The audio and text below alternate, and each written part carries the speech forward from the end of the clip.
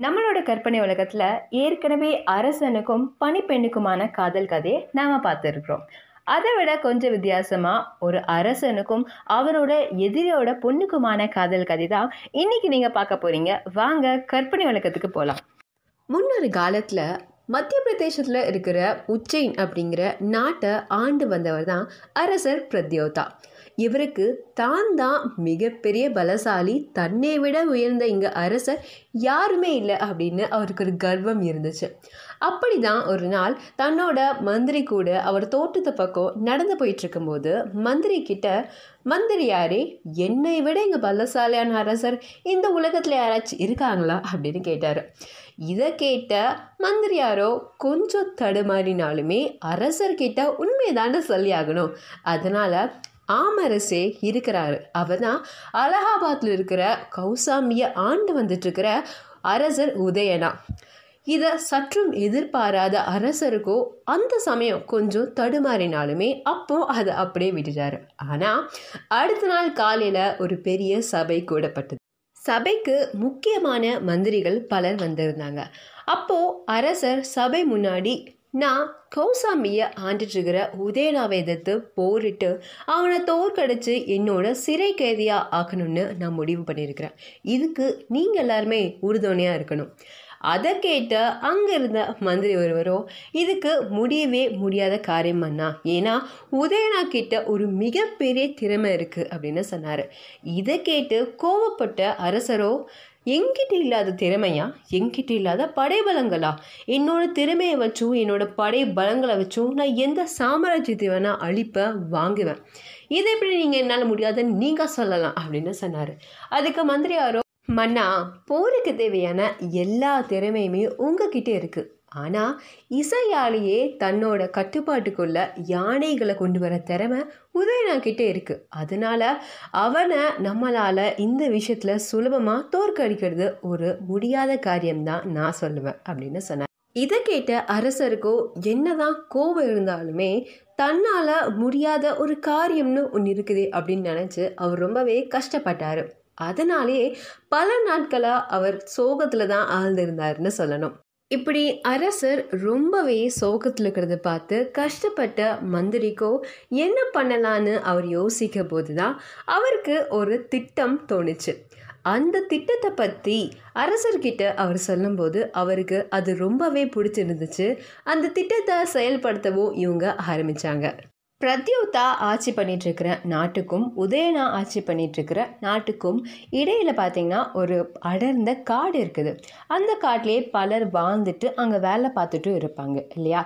ஒரு நாள் அப்படி தான் இந்த காட்டுக்கு ஒரு நபர் வேலை பார்த்துட்ருக்கும்போது அவரோட கண்ணுக்கு ஒரு வெள்ளை யானை தெரிஞ்சுது.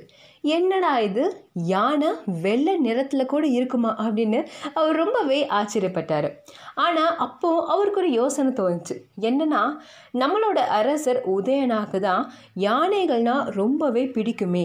நாம ஏன் இதை பற்றி நம்ம அரசர்கிட்ட சொல்லி அதுக்கான ஒரு தக்க சன்மானத்தை வாங்கக்கூடாது அப்படின்னு யோசிச்சார். அதன்படியே அரசரை பார்க்கறதுக்காக அரண்மனைக்கும் அன்னைக்கு போனார். அரண்மனை காவலர்கள் இவரை வர்றதை தடுத்தாலுமே இவர் ரொம்பவே கெஞ்சி கேட்டதுனால இவரை உள்ளே அனுமதிச்சாங்க. உள்ளே போனதுமே அரசர் அரசவையில் உட்காந்துட்டு இருக்கும்போது இவர் அவங்க முன்னில நின்று நடந்ததை கூறினார். அரசருக்கு ரொம்பவே ஆச்சரியமாக இருந்துச்சு. வெள்ளை நிறத்தில் யானையா இதை உடனே நம்ம பார்க்கணும் அப்படின்னு ரொம்ப ஆர்வத்தோட தன்னோட காவலாளிகள் கூட தன்னோட அழைத்து கொள்ளாமல் அவர் மட்டுமே தன்னந்தனியாக அந்த காட்டுக்கு அந்த நபரோட போனார். அந்த யானையை தன்னோட கட்டுப்பாட்டுக்குள்ளே கொண்டு வரணும் அப்படிங்கிற எண்ணத்தோடையும் தன்னோட இசைக்கருவி கூட தன்னோட எடுத்துகிட்டு தான் போனார். அந்த காட்டுக்கும் அவங்க சென்றடைஞ்சாங்க. அங்கே அந்த காட்டுக்கு நடுவில் அந்த வெள்ளை யானையை பார்த்து ரொம்பவே ஆச்சரியப்பட்டார். அவரோட கண்களால் அதை நம்பவே முடியலன்னு தான் சொல்லணும். உடனே அந்த யானைக்கு அருகில் சென்று தன்னோட இசைக்கருவியால் இசையமைக்க ஆரம்பித்தார் ஆனால் என்னதான் இவர் இசையமைச்சாலுமே அந்த யானை கொஞ்சம் கூட அசரவே இல்லை. ஏன்னா மற்ற யானைகள்லாம் இவர் இசையமைக்க ஆரம்பித்த கொஞ்ச நிமிஷத்திலே அது இவரோட கட்டுப்பாட்டில் வந்துடும் ஆனால் இந்த யானை கொஞ்சம் கூட அசைவே இல்லாமல் அப்படியே இருக்கிறத பார்த்து கொஞ்சம் ஆச்சரியப்பட்டே இருந்தார். ஆனால் கொஞ்ச நேரத்திலேயே யானையோட வயிற்று பகுதியிலிருந்து ஏதோ சத்தம் கேட்டுச்சு. அவர் என்னன்னு பார்க்கும்போது யானையோட வயிற்றை கிழித்து கொண்டு ரெண்டு மனித உருவங்கள் அங்கிருந்து வெளியே வந்தாங்க. இவர் என்ன நடக்குதுன்னு சுதாரிக்கிறதுக்குள்ள அவரை சுற்றி பல மனித உருவம் அதாவது பல காவலாளிகள் உதயனாவை சுத்து போட்டுட்டாங்க. உதயனா யானையை பார்க்குற ஆர்வத்தில் வந்தனால அவர்கிட்ட எந்த ஒரு ஆயுதமே இல்லாமல் ஒரு நிராயுதபாணியாகவே நின்னார். இதனால் காவலாளிகளும் இவரை ரொம்பவே சுலபமாக கைதாக்கி பிரத்யாவதாவோட நாட்டுக்கு அழைச்சிட்டு போயிட்டாங்க. இதனால் நம்மளுக்கே தெரிஞ்சிருக்கும் வந்தவங்க வேறு யாருமே இல்லைன்னு.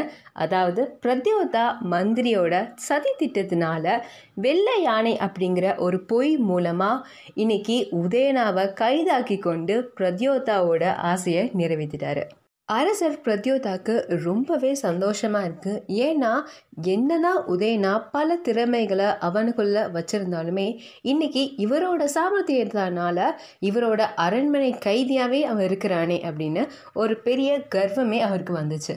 அரசர் ரொம்பவே சந்தோஷத்தில் இருந்தனால அந்த அரண்மனையில் கூட எங்கேயுமே வந்து ஒரு மகிழ்ச்சியான தருணமாக தான் அங்கே இருந்துட்டு இருந்துச்சு. அதே மாதிரி தான் சிறையில் இருக்கிற சிறை காவலர்களும் ரொம்பவே ஒரு கொண்டாட்டமாகவே பண்ணிட்டு இருந்தாங்க. இதெல்லாம் பார்த்துட்டு இருந்த உதயனா அங்கிருந்த சிறை காவலர்கள்கிட்ட நீங்கள் சந்தோஷப்படுற அளவுக்கு அவ்வளோ பெரிய விஷயம் அப்படி என்ன நடந்துச்சு? உங்கள் அரசர் ஒரு கோழித்தனமான விஷயத்த பண்ணியிருக்கிறாங்க. இதுக்கு நீங்களாம் இவ்வளோ ஒரு ஆர்ப்பாட்டம் பண்ணுறீங்க போது எனக்கு சிரிப்பு தான் வருது அப்படின்னு ஒரு ஏளனமான பேச்சை வந்து அவரோட சிலை காவலர்கிட்ட அவர் சொன்னார். இந்த வார்த்தைகள் எப்படியோ அரசரோட காதுகளுக்கு விழ இதெல்லாம் கேட்டக்கப்புறம் அரசர் ரொம்பவே கோவத்தோட உதயனாவை பார்க்க சிறைக்கு போனார்.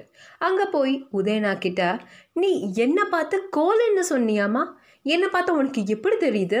என்னையே நீ கோலன்னு சொல்லுவியா? அப்படின்னு ரொம்பவே கோவத்தோட உதயனா கிட்ட ஆக்ரோஷமாகவே பேசிகிட்டு இருந்தார். ஆனால் உதயனா கொஞ்சம் கூட கோவமே இல்லாமல் ஒரு சலனமே இல்லாமல் மென்மையான தன்மையோடையே ஆமாம் உங்களை பார்த்தா எனக்கு அரசர் அப்படிங்கிற அந்த மதிப்பு மிக்க பதவி ஞாபகமே வர மாட்டேங்குது. கோலை அப்படின்னா சொல்ல தோணுது. ஏன்னா என்னைக்கு ஒரு அரசர் வந்து தன்னோட எதிரியை சூழ்ச்சியால் வெல்றாரோ அதுக்கு வெற்றின்னு நம்ம சொல்ல முடியாது இல்லையா? அதனால் என்றைக்குமே என்னோட கண்களுக்கு நீங்கள் ஒரு கோலையாக தான் தெரிவிங்க அப்படின்னு சொல்கிறாரு இதெல்லாம் கேட்டதுக்கப்புறம் தான் அரசருக்கு நான் எவ்வளோ ஒரு தப்பு பண்ணிட்டேன் எவ்வளோ ஒரு அரசு அநீதி பண்ணியிருக்கிறேன் அப்படின்னு அவருக்கு புரியுது. இருந்தாலும் அவர் அரசர் இல்லையா? அதனால் கொஞ்சம் கூட தன்னோட கம்பீரத்தை அவர் விட்டு கொடுக்கக்கூடாது அப்படிங்கிறதுக்காக உதயனா கிட்ட ஒரு பேச்சுவார்த்தை வச்சார். என்னன்னா நீ வந்து எனக்கு உன்கிட்ட இருக்கிற அந்த யானைகளை இசை மூலமாக கட்டுப்படுத்தக்கூடிய திறமையை எனக்கு நீ சொல்லி கொடுத்தன்னா நான் உன்னை விடுவிக்கிறேன் அப்படின்னு ரொம்பவே ஒரு திமிரான பேச்சோடய அவர் பேசினார். ஆனால் இதெல்லாம் கேட்ட உதயனாவோ நான் நீங்கள் வந்து ஆசிரியர்கிட்ட பேசுகிறதுக்கு இப்படியெல்லாம் பேசக்கூடாது. ரொம்பவே தன்மையாக தான் பேசணும். ஏன்னா நான் என்ன தான் உங்களை விட வயசில் சின்னவனாக இருந்தால் கூட இந்த திறமையை நீங்கள் என்கிட்ட கற்றுக்கும் போது நான் உங்களுக்கு ஆசிரியர் இல்லையா? அதனால் அதுக்கு தகுந்த மரியாதையோடு தான் என்கிட்ட நீங்கள் நடந்துக்கணும் அப்படின்னு சொல்கிறாரு இதெல்லாம் கேட்டக்கப்புறம் அரசருக்கு ரொம்பவே கோவம் வந்து அந்த சிறையை விட்டு அவர் அங்கேருந்து போயிட்டாரு.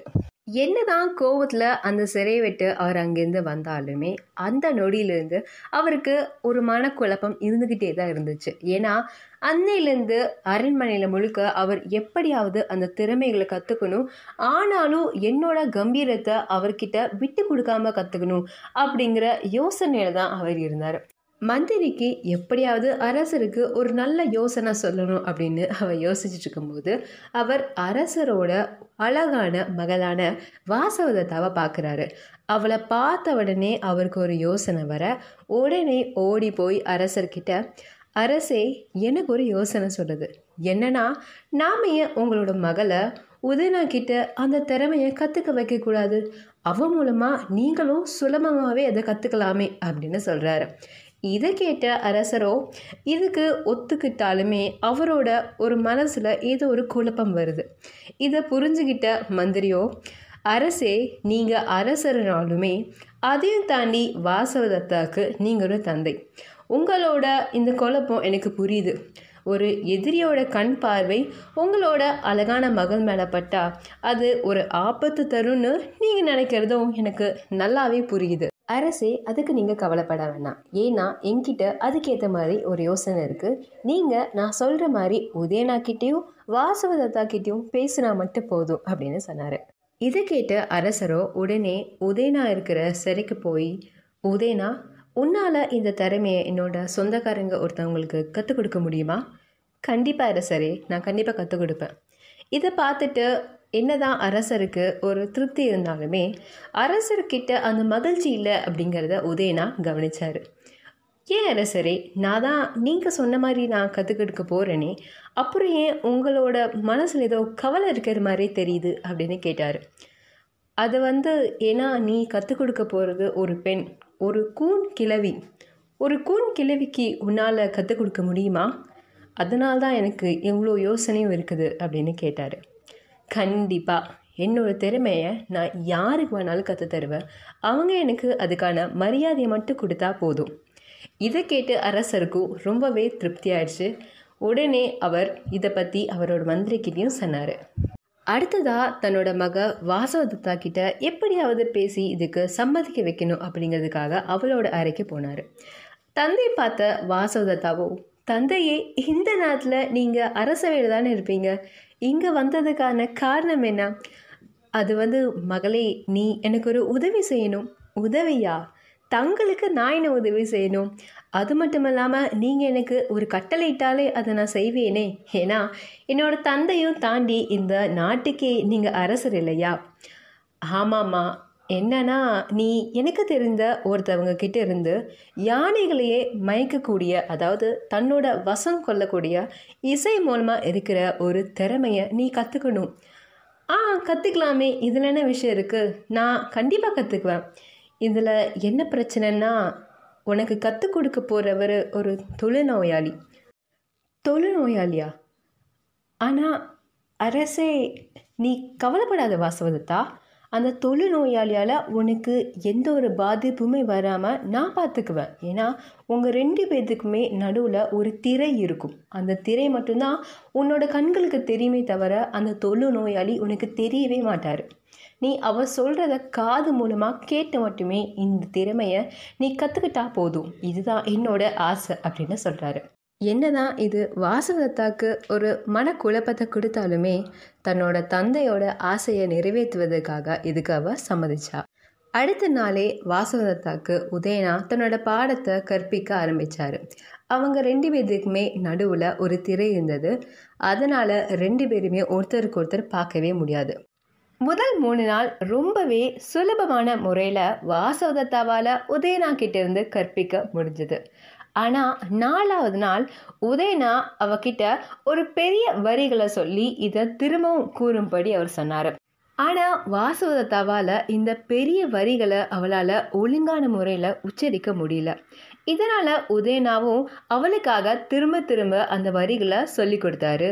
வாசவதத்தாவோ இதை ஒழுங்கான முறையில் ஒரு கட்டத்துக்கு மேலே அவளால் சொல்லவே முடியல. அதனால் பொறுமையை இழந்த உதயனாவோ வாசவதத்தாவை பார்த்து ஏய் கூன் கிளவியே உன்னோட கூன் உன்னோட முதுகில் தானே இருக்குது? உன்னோட வாயில் இல்லைல்ல? அப்படியே இது ஒழுங்காக உன்னால் உச்சரிக்க கூட முடியல. அப்படின்னு ரொம்பவே கோவப்பட்டார். இதை கேட்டு கோவப்பட்ட வாசுதத்தாவோ என்ன?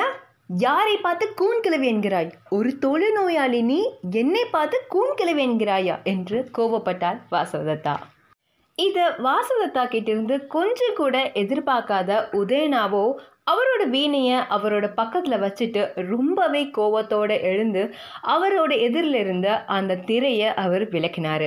திரையை விளக்கனுக்கு அப்புறம் தான் உதயனாக்கே புரியுது இத்தனை நாளாக நம்மக்கிட்ட பாடம் கற்பித்தது ஒரு கூன் கிழவி கிடையாது ஒரு அழகான பெண்மணின்னு. ஏன்னா வாசுதத்தா பார்க்குறதுக்கே ரொம்பவே அழகாக இருப்பாள் அவளோட அந்த தேகமே மேகத்துக்கே போட்டி போகிற அளவுக்கு ரொம்பவே வெண்மையாகவும் அவளோட கூந்தலோட நீளம் அவளோட காலுக்கே போட்டியாகிற அளவுக்கு நீளமாக இருந்ததாகவும் காளிதாசர் வந்து வாசுதத்தாவை ரொம்பவே அழகாக வர்ணிச்சிருப்பாரு. இதை பார்த்தக்கப்புறம் தான் உதயனாக்கு நாம் எவ்வளோ பெரிய தப்பு பண்ணிட்டோன்னு உணர்ந்து வாசுதத்தா கிட்ட அவர் மன்னிப்பு கேட்குறாரு வாசுதத்தாவும் உதயனா கிட்ட மன்னிப்பு கேட்குறாங்க இதுக்கப்புறம் வாசுதத்தா தன்னோட தந்தை எதுக்காக என்னை ஒரு கூன் கிளவினும் உங்களை ஒரு தொழு நோயாளினும் நம்மக்கிட்ட அறிமுகப்படுத்தியிருக்கணும் அப்படின்னு அவங்க யோசிக்கும் போது அதுக்கு உதயனா தனக்கு நடந்த துரோகத்தையும் தான் இப்போ எவ்வளோ ஒரு பெரிய சிறையில் மாட்டிட்டு இருக்கிறோம் அப்படிங்கிறது தான் அதுக்கு ஒரு காரணமாகவே இருக்கும் அப்படிங்கிறது அவர் சொன்னார். இதுக்கப்புறம் வாசுதத்தாக்கு தன்னோட தந்தை மேலே ரொம்பவே கோபம் வந்தாலுமே அதை விட அவங்களுக்கு உதயனாவை ரொம்பவே பிடிச்சிருச்சுன்னு தான் சொல்லணும். இவங்க ரெண்டு பேருமே இதுக்கப்புறம் அடிக்கடி சந்திக்க ஆரம்பிச்சாங்க. அந்த சந்திப்பே அவங்களுக்கு காதலாகவும் மாறுச்சு. இப்படி கொஞ்ச நாட்கள் போகுது அப்போ ஒரு நாள் வாசவதா உதயனா ரொம்பவே கவலையாக்கிறத கவனிக்கிறான் அதுக்கான காரணத்தை அவர்கிட்ட கேட்கும்போது அதுக்கு உதயனா வாசு எனக்கு நான் என்னோட மன்னன் அப்படிங்கிற கடமையை செய்யாமல் நான் இங்கே சும்மா இருக்கிறேன். அங்கே என்னோட நாட்டு மக்களுக்கு என்ன ஆச்சுன்னு கூட எனக்கு தெரியாது. இப்போ உனக்காக இந்த நாட்டு மேலே கூட என்னால் போர் தொடுக்க முடியாது. அது மட்டும் இல்லாமல் நான் இங்கே தான் இருக்கிறேன்னு என்னோடய காவலர்கள் கூட அவங்களுக்கு தெரியாது. இப்போது எனக்கு என்ன பண்ணுறதுனே தெரியல. எப்படியாவது என்னோடய நாட்டுக்கு நான் போகணும். அது மட்டும்தான் எனக்கு இப்போ கவலையாக இருக்குது. அப்படின்னு தன்னோட வாசதத்தா கிட்ட உதயனா தன்னோட கவலைகளை கொட்டி தீர்க்கிறாரு இதை கேட்டு வாசதத்தாக்கு என்னடா உதயனா நம்மளை விட்டு பிரிய போகிறாரோ அப்படிங்கிற அந்த கவலை அவளுக்கு வந்தாலுமே அதை விட முக்கியமாக எப்படியாவது இவரை இவரோட நாட்டுக்கே நம்ம அனுப்பி வைக்கணும் அப்படிங்கிறதுல மட்டும் ரொம்பவே உறுதியாக இருந்தா. அதனால் அவள் பல நாட்களாக யோசித்து ஒரு திட்டமும் கொண்டு வந்தா. அந்த திட்டம் படி உதயனா அவரோட நாட்டுக்கே போனாரா? உதயனாவும் வாசகத்தாவும் சேர்ந்தாங்களா அப்படிங்கிறத நாம் அடுத்த பகுதியில் பார்க்கலாம். இந்த கதை உங்களுக்கு பிடிச்சிருந்துச்சுன்னா லைக் பண்ணுங்கள் ஷேர் பண்ணுங்கள் கற்பனை உலகத்துக்கு சப்ஸ்கிரைப் பண்ணுங்கள் தேங்க்யூ